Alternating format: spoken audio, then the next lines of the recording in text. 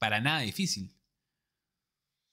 Grillo no te propuso para grabar Mox. Sí, me, eh, me mandó una entrevista NN justo cuando estaba con COVID y mala mía, mala, mala mía, que no, no respondí el correo, porque estaba con COVID y bueno, lo dejé pasar y borré toda mi bandeja.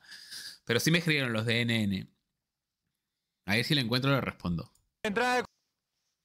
Una buena teoría, ¿eh? Uy, ¿dónde te quedó la humildad? Gente, estaba con COVID, no podía ni moverme de la cama.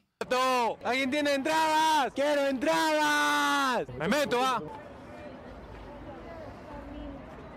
Oye, la puta madre, ¿quién me baneó?